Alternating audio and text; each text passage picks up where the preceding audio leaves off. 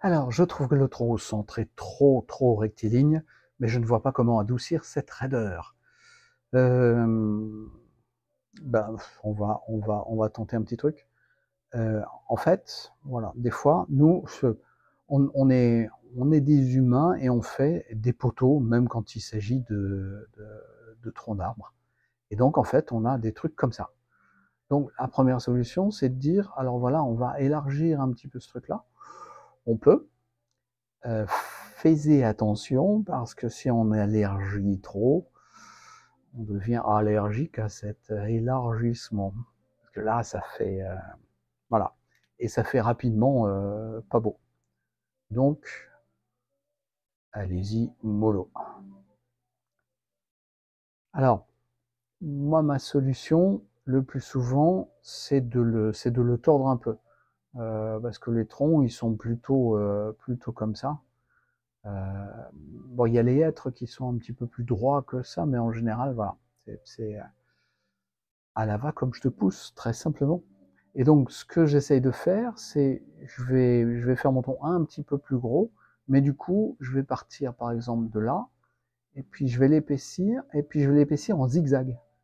Et donc il va passer d'un côté et puis de l'autre. Alors pas toujours le même zigzag, hein, attention parce que si c'est exactement la même dimension, euh, ça ira pas bien. Voilà. Et puis après, il va revenir comme ça.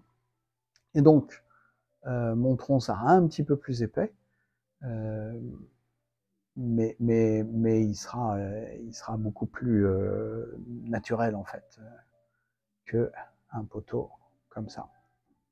Voilà effectivement, si il faut qu'on fasse des poteaux, eh ben voilà, c'est la bonne technique. Euh, donc voilà comment euh, adoucir cette raideur en, faisant des petits zigzags.